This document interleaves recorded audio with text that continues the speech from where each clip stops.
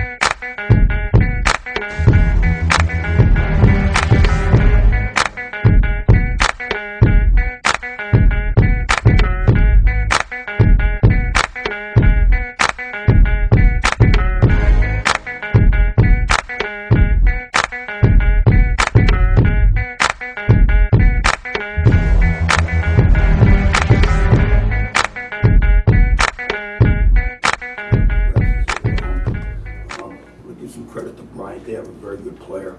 Um, he didn't play tonight. He hasn't played in five or six games, but whenever we played um, Bryant, I think Timmy does a very good job. They they hang in there. Uh, def- defensive pressure was definitely our, our number one thought coming into the game. You know, Malcolm and Kyle and Robbie.